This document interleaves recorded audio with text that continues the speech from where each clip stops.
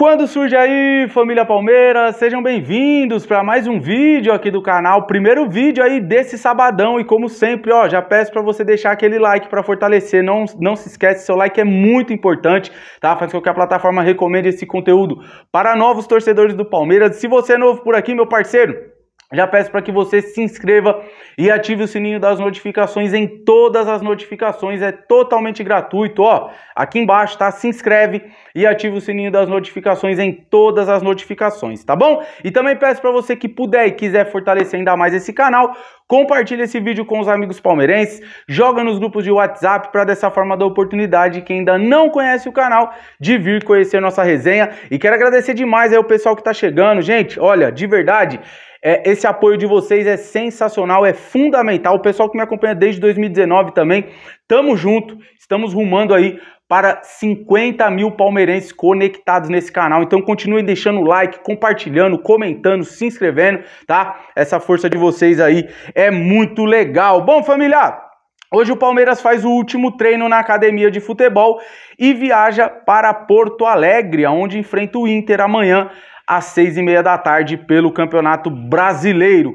E teremos os retornos aí de Arthur e Marcos Rocha. O Marcos Rocha que vai jogar no lugar do Mike. O Mike está suspenso por conta de cartão amarelo e o Arthur volta após ficar de fora aí da Copa do Brasil. Ele que não podia, não, não, não estava podendo atuar né, nessa competição por já ter jogado pelo Red Bull Bragantino, tá certo? Bom, eu queria passar uma informação aqui que eu achei no mínimo curiosa, porque a Leila gosta de aparecer bastante. Não é mesmo, torcedor? Tanto que o apelido dela é a, é a blogueirinha.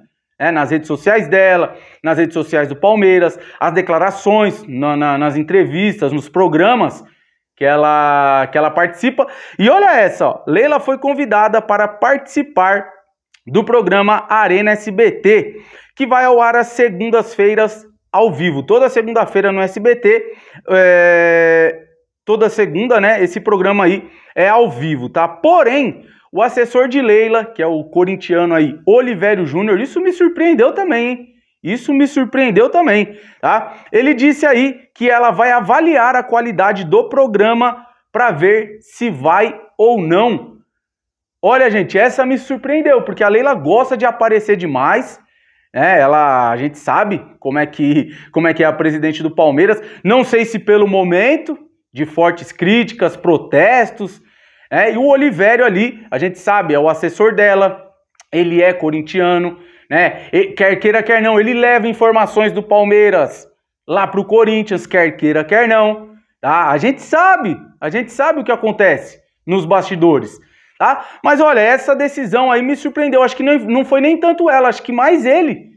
Mais ele que deu uma barrada ali, né, para presidente do Verdão não ir ao Arena SBT. Essa história é, ah, ela vai ver se vai ou não? Eu acho que não. Eu acho que ela não vai, tá? E isso tem dedo do Oliveira e me surpreendeu, hein?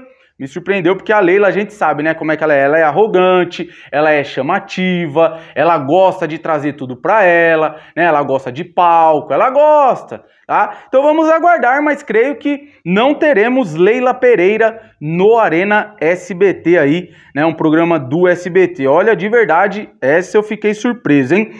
Bom, família, de acordo aí com informações da Rádio Bandeirantes de São Paulo, Grande parte dos conselheiros do Palmeiras estão descontentes com a demora de Anderson Barros em contratar. E quando contrata, a gente já sabe, né? O que que, o que, que veio aí nos últimos tempos. Enfim, eu acho que é, é, do, dos jogadores que o Barros trouxe, quem deu certo, que a gente pode falar? Arthur e Murilo.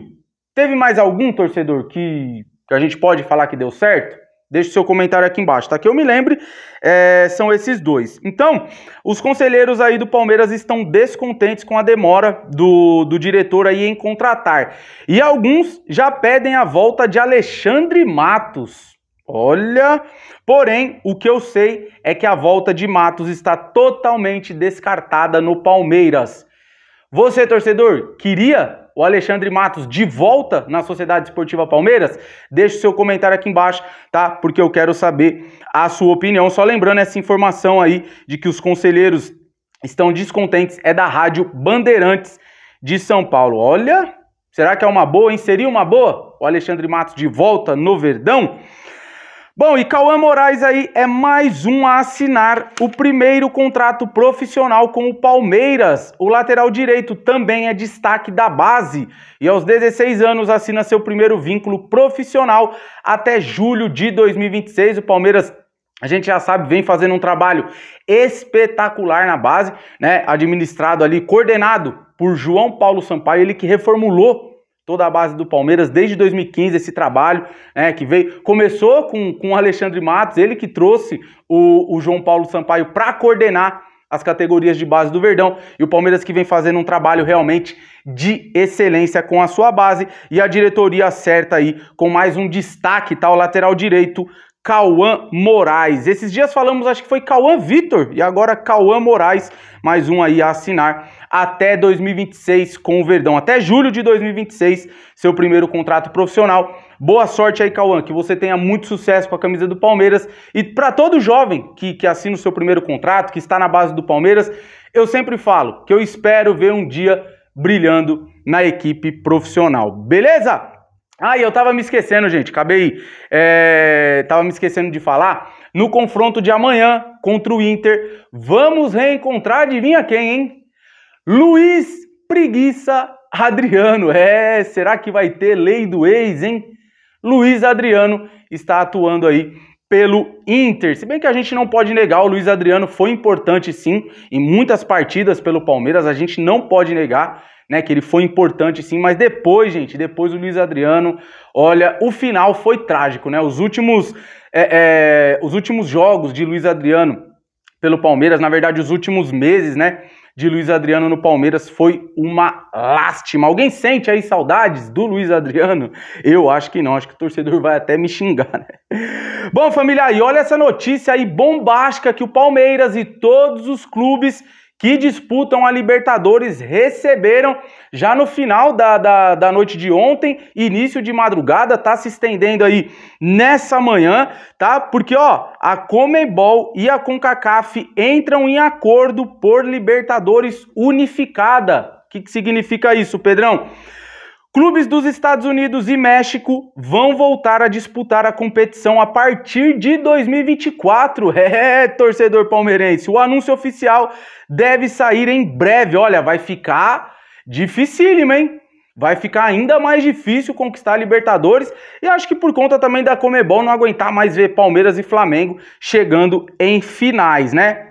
Ainda não se sabe como isso afetará o modelo de competição ou se as vagas para o futebol brasileiro ficariam reduzidas, né? É, mas o anúncio aí, em breve, deve tirar essas dúvidas que foram levantadas. Olha, gente, o anúncio oficial aí da Comebol, Libertadores e CONCACAF, né, da Comebol e CONCACAF para Libertadores Unificada, deve sair em breve esse anúncio oficial. Olha, de verdade, hein? É, surgiu aí como uma bomba esse assunto. Eu queria saber a opinião de vocês. Já pensou, torcedor? Messi disputando aí a Libertadores? Vai ficar difícil, hein? E tem, tem vários outros craques de, de, de, de, futebol europeu que estão nos Estados Unidos, que estão no México. É, vai ficar pesada essa Liberta, hein? De 2024, tá? É, bom, eu queria saber a sua opinião deixa o seu comentário. Acho que a Comebol não aguenta mais realmente ver Palmeiras e Flamengo chegando em finais, né? E para fechar, família, quero comunicar a vocês que Marcos Rocha e Palmeiras conversam aí sobre a renovação de seu contrato com otimismo para o vínculo aí de pelo menos mais um ano até o final de 2024. O, as partes aí se acertando, né? O anúncio também oficial da renovação de Marcos Rocha deve sair ainda essa semana, beleza? Eu pensando bem, torcedor, de verdade, é, a gente está falando muito em renovação, né? De um elenco cansado, de um elenco manjado. Eu pensando bem agora, eu não. Há, duas, três semanas atrás, há um mês atrás, eu até estava pensando, pô, é, a gente poderia sim renovar com o Marcos Rocha, ficar com o Rocha, o Mike ali, é, tem o Garcia, enfim. Mas vendo hoje, eu acho que eu não renovaria com o Marcos Rocha por mais um ano, não. Tá? Não sei qual que é a sua opinião, porque a gente está. E isso tende a afetar o coletivo. Então, não sei se eu renovaria, eu acho que eu não renovaria com o Rocha por mais um ano. Eu buscaria uma renovação desse elenco. Mas, como a diretoria, hoje já é dia 15, hoje já é dia 15, a janela abriu dia 3. Até agora nada, até agora ninguém. É, é Ninguém se mexeu lá no Palmeiras, né, para contratar, os outros clubes se mexendo aí, contratando, anunciando o Santos contratando, o Corinthians contratando.